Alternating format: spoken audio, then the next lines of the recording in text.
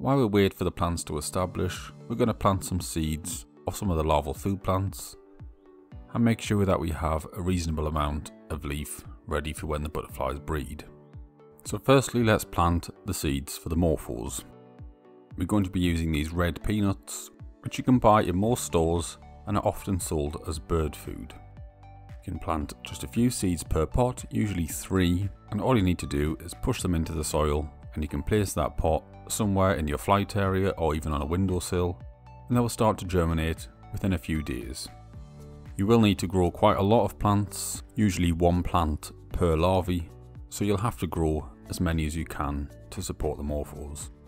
And we do have some seeds here of Mucuna, which is a vine. They will use the Mucuna more for egg laying than they will the peanut, but they do still lay on both plants. And the Mucuna also, you can plant just a couple of seeds per pot, and this will grow extremely quickly into quite a large vine. Next up we have the Asclepias. This is a tropical milkweed grown for the monarch butterflies.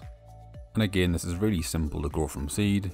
You can just sprinkle a few in the top of a pot and cover them with soil.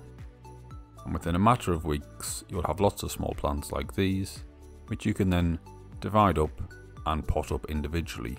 I have seen one method by Nigel Venters where you simply plant around 100 seeds in a 30 centimeter diameter plant pot and you can then use pots full of seedlings to feed your monarch larvae. And this is a really good way of mass producing leaf matter for the larvae to eat. But it does mean you will need pots and pots, each with 100 seedlings in. One way you could achieve this without spending a fortune on seeds is just to grow a few plants, let them set seed, and you can collect those up and plant them, because you will get a lot of seed from each seed pod.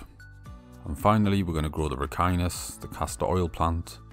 And with these, you just need to put one seed in a small pot and they will very quickly germinate and grow. One thing you really do need to take care with this plant and with the seeds is that they are poisonous, so do make sure to keep them away from children and pets. So now that we've grown on some of the food plants, we are going to plant a lot more seeds and make sure that we really have a good amount of food plant available for the caterpillars. So let's take a look at the flight area as it currently stands. Now one thing I will say is that it does look a lot less full of plant than it did this time last year.